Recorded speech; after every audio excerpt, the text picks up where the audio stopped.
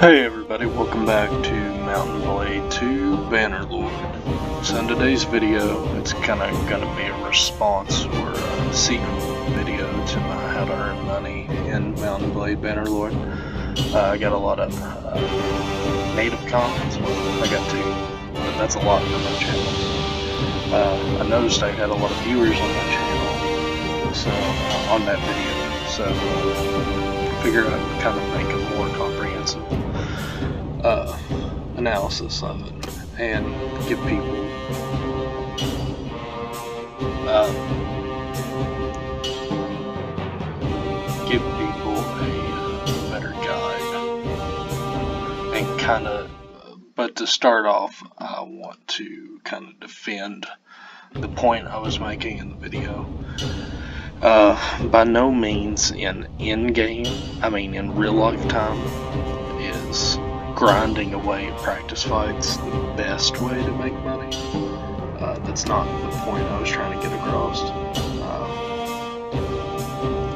what I was trying to get across is like there is in-game time that you have to deal with, and that can be kind of hard to manage if you have like a quest that you have to complete or something.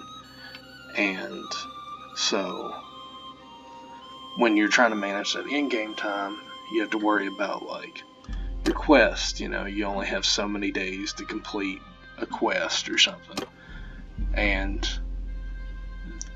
that's why uh, quests can be kind of rough.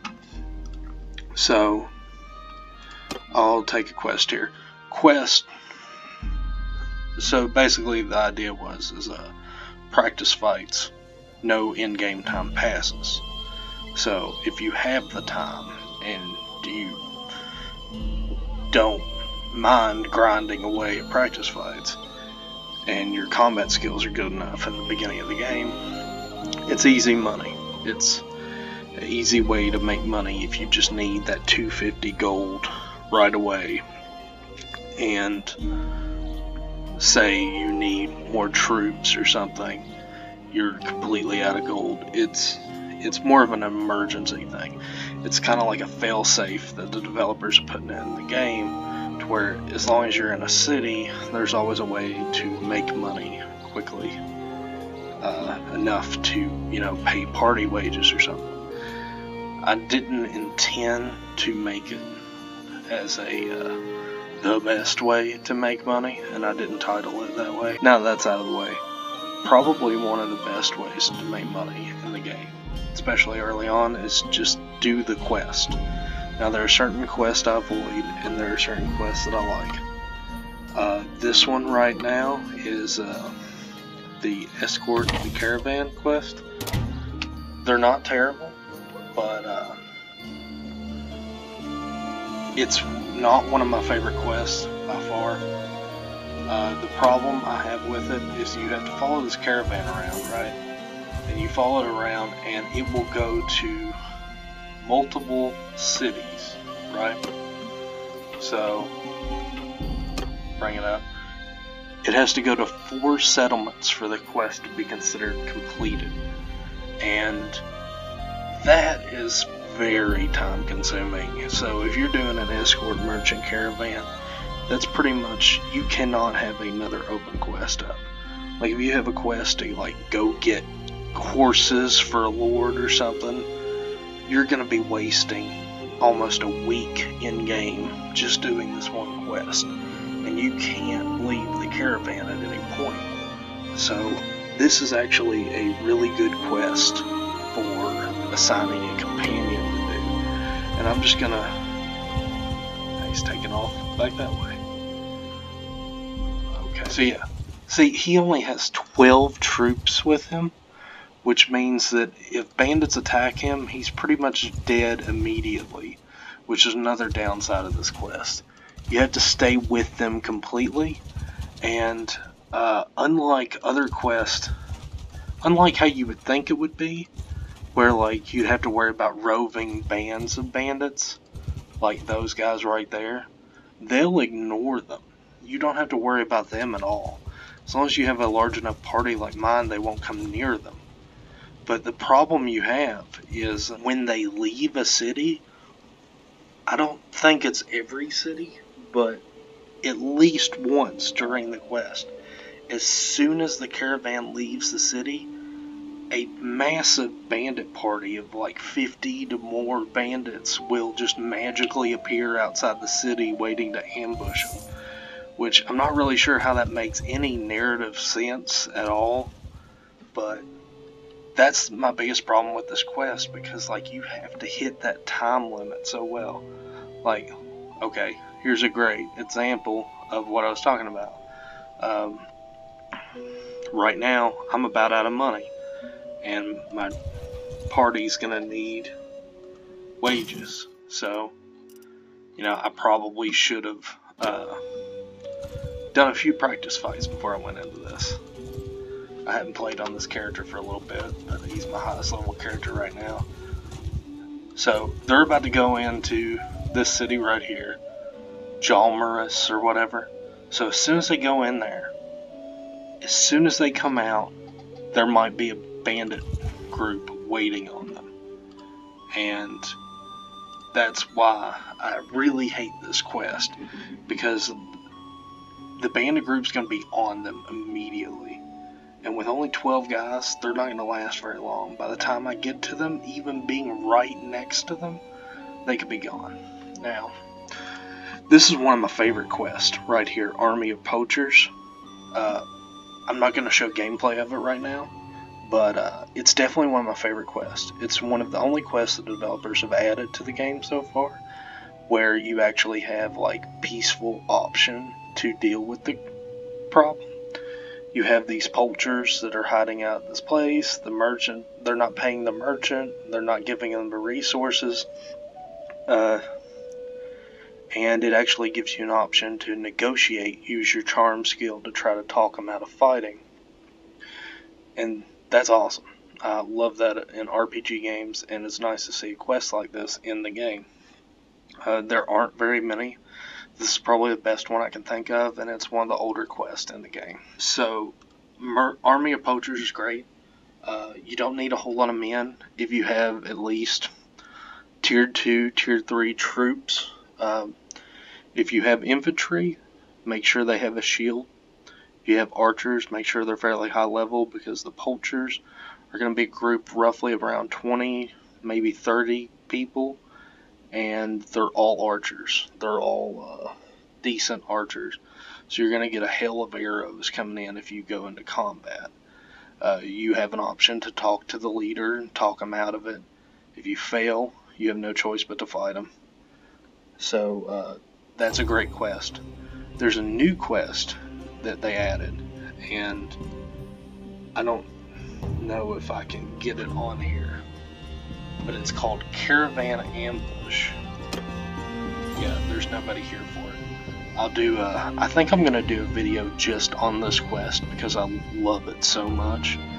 Because I don't think the developers realize how kind of messed up the quest actually is. But Caravan Ambush is a great quest. It's similar to the Escort Merchant Caravan, but uh, basically the merchant tells you that the caravans are getting harassed and they're getting fed up with it, so they're planning an ambush to take care of the bandits once and for all. So in this quest, you follow the merchant caravan similar to how you did before in this one, but in it, you uh, you follow them, but you have to tail them, so you actually have to maintain somewhat of a distance from them. Otherwise, the bandits won't attack them. Which is really cool. We haven't seen them do anything like keeping a distance before in the game, so I love when they add a new quest that actually adds new features to the game. Uh, the developers, I, I want to see more of that. More of that, more Army of Poachers, more Caravan Ambush. They're both great quest, probably the best side quest you can do in the game. Uh, there is a simple quest they added called In and Out, and uh, In and Out is just this little quest. You'll get in in a village. I think the village has to be the vassal of a city like this. So, like this city has to be a vassal. It has to be a vassal of a nearby city. And uh, the fief, my bad. So you go to a little village and you talk to one of the villager guys, and he'll give you the in and out quest. And basically, what it is is he's lost a deed to a piece of land on uh, in a game, um, in a betting game at the tavern. And if you haven't tried it, there are these little games in the taverns. There's actually different games based on the region you go to, so each region kind of has its own game. Uh, this is the one I've always had to play for, Tablut. Uh, it's really simple. Uh, the game's fun enough, but it's very heavily balanced to the defenders, which is funny because when they describe the game to you, it makes the premise of the game is that the defenders have the disadvantage. But when you actually play it, the defenders very much have the advantage. You have a lot of easy setups for taking pieces in the beginning. So here's some gameplay of the thing. You basically, what you have to do is like you move the pieces around another piece and it takes it. So the defenders, all the defenders have to do is get their king piece to one of the edges of the, of the board. Is the king piece goes to the edge of the board, then you win. And the whole goal of the attackers is to take the king piece. Once they take the king piece, they win. So it's simple, very simple to understand, easy to understand how to play. Uh, all the pieces can move in cross shapes any direction, as many pieces as they want. They can't hop over. Um, to take a piece, you have to get on either side of it, you have to have either one piece on either side or against the centerpiece. So even if the king isn't in the centerpiece, the centerpiece acts as a piece for taking pieces. So once you move the king out of the centerpiece, no piece can cross the centerpiece ever again. So when you're the attacker, you have to be careful about what you're doing because, um, I mean, when you're the defender, you have to be careful about what you're doing. Because, like, if I move my king piece out here, let's say I move this piece over here, move the king piece here. If I just move the king piece here, his black piece come in, and he'd take my king, and the game be over. So this is just a simple game uh, for the in and out. Uh, all you have to do is win one game against the uh, game master. So that's another fun quest. It's real simple. Um, you I think you have to bet like a thousand dinars in order to uh, win the property deed. I'm not sure how much money it gives you, but again, it takes you to the nearest city. It's real simple, real short all you have to do is learn how to play one of these board games, and you got it. Um, but quests are really one of the best ways to earn money in the game. Another way to earn money would be um, another way to earn money is basically just hunt down bands of looters. That's definitely the best way in the early game when you don't have much is to just hunt down some looters and you know I got some looter stuff here. Uh, sell them all off. Uh, sell off all the armor that you can't use. Um, I've seen a lot of people in discussion boards on the game talk about how good blacksmithing is for making money. Uh, it might be. I've recently tried to get into it a little bit. Um, I guess once you get high level blacksmithing, it's like the best way to make money in the entire game because the weapons are worth way more than like the raw materials for it will be. But you kind of have to grind a lot to like get your smithing up. Like nobody's gonna dump their starting skills into smithing. I don't think anybody thinks of that. I just recently started a new character where uh, I recently started a new character where I was to try to go a little more uh, smithing focused, smithing and trading, and do that. And even picking like every option in the beginning of the game to be good at smithing you still don't start off at a high enough level to make a single thing in the beginning perfect. So basically, you have a lot of little customization, and uh, so you do the whole thing, you get what you want, and so see right here, the difficulty is 42. Even I've I've been smithing quite a bit with this character since I made it, and he is still only level 37. So there's a lot of grind to it. Basically, the best way to level it up is to go over here to the smelt tab, and anytime you take out a band of looters and stuff, take all the weapons that you get and smelt them down here. But as you can see down here on the screen, you have to rest which it gets really annoying. It's probably the most annoying thing. It's just you have to literally just sit here and rest all the time. You can't just sit there and grind on it, even if you have the materials, even if you have the money to buy the materials and stuff. It only lets you do so much until it'll stop you from smithing. Meantime, you know, uh, you know, you got your party's wages coming out the whole time. So like you definitely want to keep your party's wages low, especially if you're going to be grinding on smithing, which is kind of terrible because you know you need a decent amount of troops just to travel around the map. I mean, if you only got 10 guys, even if they're good, you're going to get outnumbered by 50 50 sea raiders. You're going to get killed.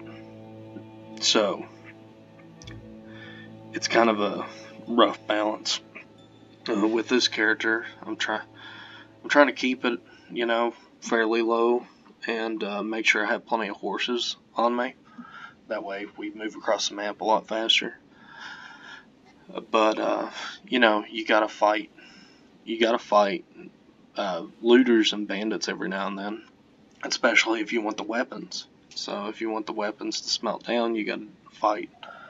And if you're putting all your skills into smithing instead of fighting, you know, you're not gonna, you know, you're not gonna have very good fighting skills, as you can see. So when you're trying to focus on smithing, it's gonna be a long process. So with what I'm going over is kind of what's the best way to make money. Uh, beforehand, they say in the beginning of the game the best way to make money was workshops and caravans. Uh, but recent updates have kind of messed it up. But I don't know if my game's been bugged or what. I've had a lot of issues since launch. Like I've had the day since the game since day one. I've been playing this since day one, and I've never made any money off caravans or workshops. Um, I I guess there was a way to upgrade them before, but I could never figure that out. There's never an option that I could tell. So a caravan and a workshop, like, they cost you anywhere up to like 15,000 gold, which is a huge investment. And uh, in exchange, you get a daily income of like 200 to 300 gold. And as you can see, even my small party of tier 3 30 troops, that takes up all that. So it's not really giving you profit. You'd have to have like a ton of them. At that point, you've already had to earn over a hundred thousand gold, and workshops are limited. I'm pretty sure caravans are limited too. Caravans and workshops just aren't the way to make money. I've never found them the way to make money. The best way to make money is probably just going to war, uh, fighting other lords, taking all their stuff, selling their prisoners uh, taking out bandits, you know, just fighting. It's kind of, it gets kind of boring after a while, to be honest. You know, you go into the fights and you know, I like to mess around with the tactics and stuff and do flanking with my cavalry and everything, but it does get kind of boring when you're just grinding and grinding away. Uh, tournaments, a lot of people say tournaments are a good way to make money. Uh, they are, but only in the early game because I think the recent update just totally made the tournament so much easier because uh, before the recent updates even in tournament battle, as you can see, I'm wearing my armor. Everybody's wearing their actual armor. And before the armor actually counted into it, but I've noticed recently that like I can go up again. I can using a tournament little weapon and go up against a fully armored tier 6 guy and just do perfect damage, like hitting somebody with no armor on the So I think they changed that to where your armor rating doesn't factor in with tournaments anymore. So that makes tournaments super easy. And if you've done as many tournaments as I have, I had a character back before we did it, where I won like 60 tournaments. And I was like the number one ranked tournament guy in the event. when you get in the tournaments that much, basically they keep, everybody knows you're going to win. Nobody's betting against you. So any money you normally make on the bets is just. That's basically the only money you can get in tournaments, except for the prizes, which when you get high enough level, the prizes are pretty much garbage out of anyways. Tournaments really aren't the best way to make money once you get high level anyway. Anyway, so that's my spiel on uh, ways to make money.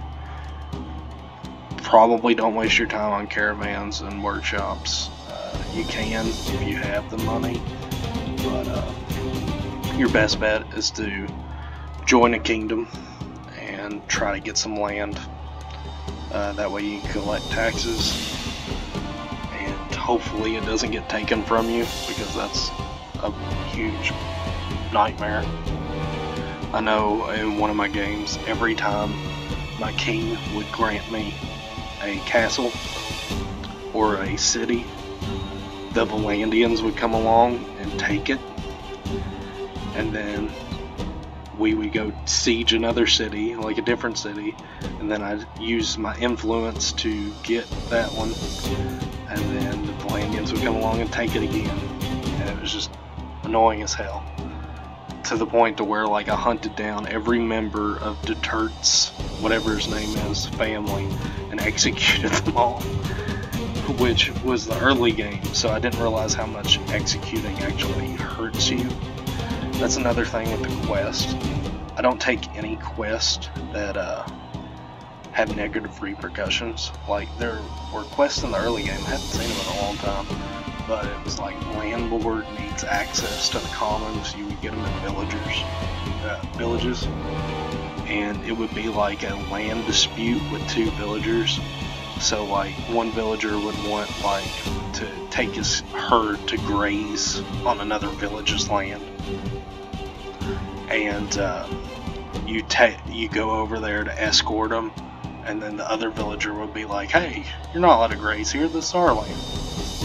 and then you'd have to be like, no, and then all the people in that village would hate you. So I don't like doing any quest that makes one group hate you more, because especially with the villages and stuff, you know, that affects your recruitment ability.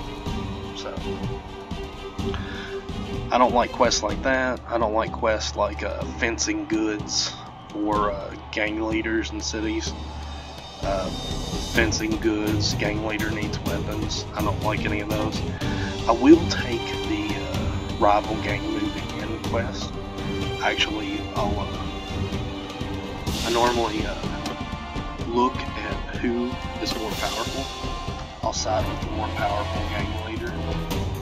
So whichever, if there's a gang moving in that's less powerful, I'll normally uh, side with the other one that. That's mostly because another way to make money, especially if you're wanting to smith.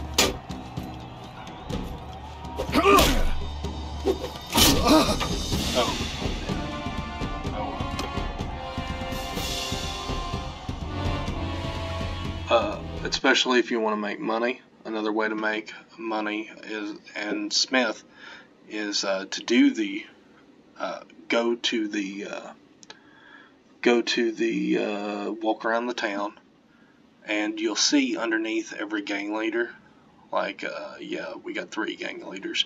Sometimes there's only two. Uh, each gang leader owns like an area. So this one owns the back street, this one owns the clearing, and this one owns the waterfront. And it shows you in parentheses next to it how many troops they have stationed there. So like, Buff, she has 14 in the clearing, but she's relatively weak. He has, he's probably the most powerful one here and he has 16 at the waterfront. So, like, if he did a rival gang moving in, what I would do is I would do that for him, and then, like, let's say he was going up against her, I would fight uh, her group, do that, and then that would gain me favor with him. So when I go to recruit troops, she would hate me and it'd be down here, but he would like me, so I'd have it all the way up here and then another thing you can do, if you already have a gang leader that hates you, it makes sense to just go to their area. So, like it says clearing for her. So, if she already hates me, there ain't no point in trying to like win her back or anything. What I can do is just uh, go to the clearing and uh, you go to the clearing and you talk to the thugs. Uh, let's walk around the town. So, I'll use the Alt key to figure out where the clearing is. See, it's up there. That's going to be a while. So you just walk over to the clearing and you talk to the thugs standing around the clearing, and those will be her thugs. Uh, I recommend when you do that, have all your companions gather around with you, and uh, you just go up to the thugs and you talk to them like I would this one. There'll be a dialogue option, and uh, it'll say like uh, mind your own business it's none of your business what i'm doing here something like that. And then they'll start fight they'll pick a fight with you and then they'll attack you. And there's normally like three or four of them they're just base level thugs. But you know you don't have your full equipment when you're walking around the city so you gotta be careful. That's why i recommend having your companions with you. Um, so you just fight them and then it'll pop up an option on it'll take you back to the city screen it'll pop up an option. It'll be like uh, the everything the clearing's cleared out. Uh, do you want to wait here and try to hold it? And you hit yes and you do that and then like the gang leader will come and be like what are you doing here? And you'd be like get out of town, blah blah blah, and um, so then you start a you get in a fight with whatever their troops stationed there. So like if it was her at the clearing, she'd bring her 14 guys, and then it would provide me with like random troops. I'm not really sure how it determines who comes with you. I really love how they changed it to where at the bandit hideout you get to pick your group now I wish they could do that with the uh, with how it works with the gang wars, which is basically what it is. And uh, you basically fight them, you knock them out, and then after you knock them out, you get to loot their place.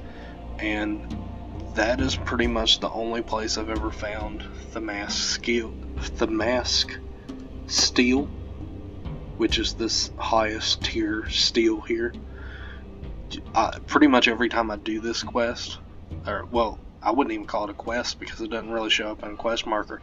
It's more of a side activity. The Damascene steel, which is basically supposed to be Damascus steel, uh, I always get one of these every time. And if you need money, uh, I think they sell for pretty good uh, if you don't plan on doing smithing. So there's that. And if you plan on doing smithing, it makes a lot of sense to stockpile a lot of uh, the best steel you're going to be able to find in the game. So that's another way you can earn some money. Um, again, other than that, you know, you got this one. Uh, it's for a gang leader, but it, there are no bounty hunters in this game, which I found weird. Uh, I kind of miss them a lot they were some of my favorite troops to recruit in uh, Warband was uh, to find the manhunters running around the map hunting the bandits. And then whenever you take out a bandit group, sometimes you'd be able to recruit manhunters that they had captured because they always carried around clubs and stuff, and that made it a lot easier to capture people.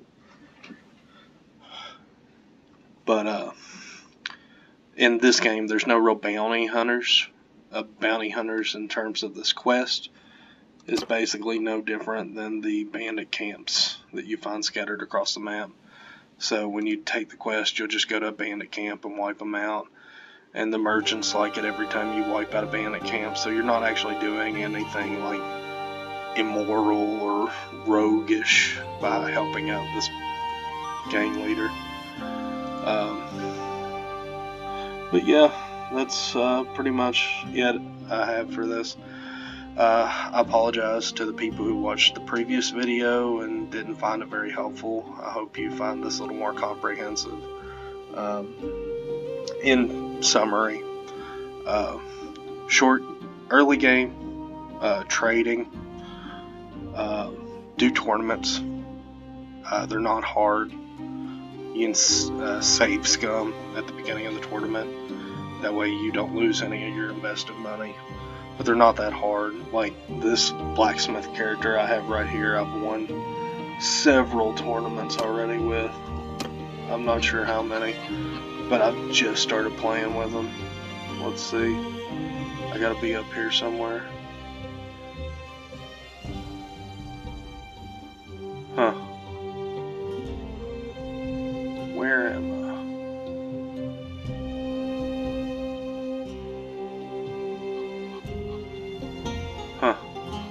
This is broken.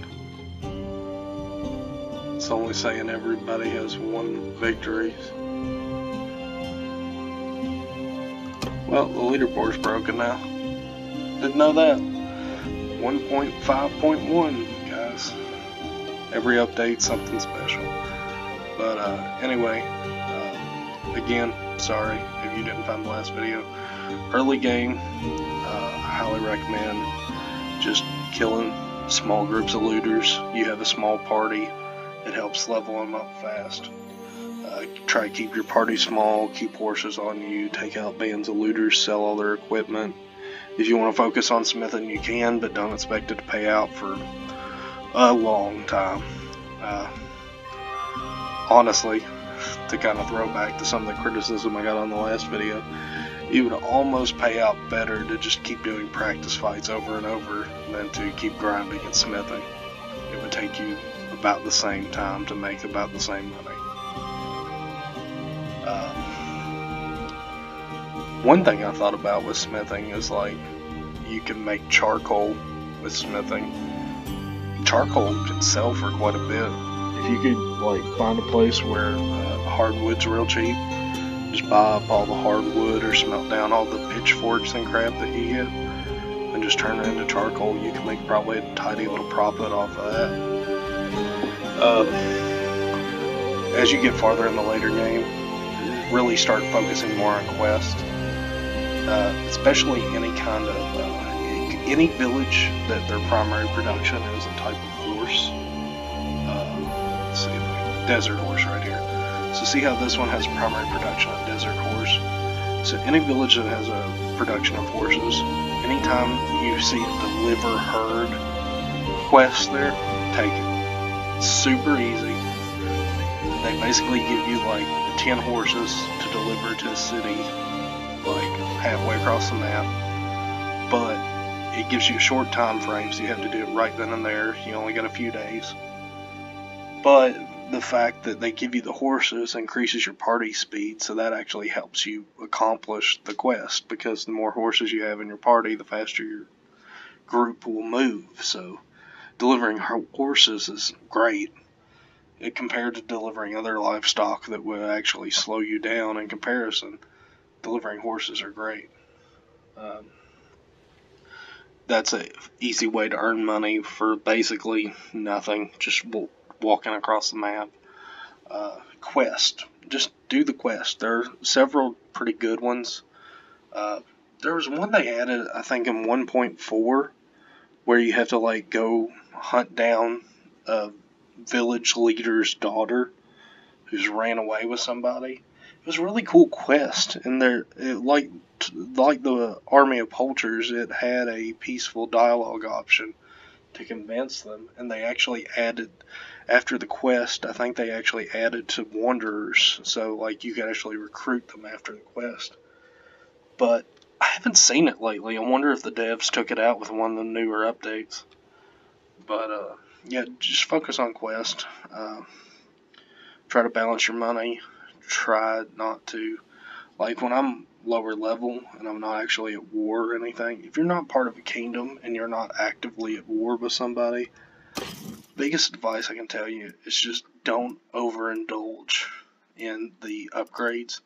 Like I got troops ready to upgrade right here. I'm not going to upgrade them. I'm going to let them keep gaining experience if they want to.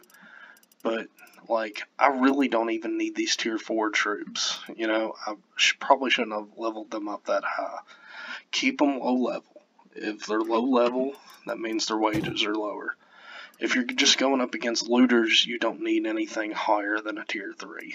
You know? So, um, that's probably the best way to save your money. It's just don't get troops that you can't handle. Um, then do quests. Alright, so I think I've rambled on long enough. Thanks for watching. Uh, like and subscribe. It's not a choice. Thank you.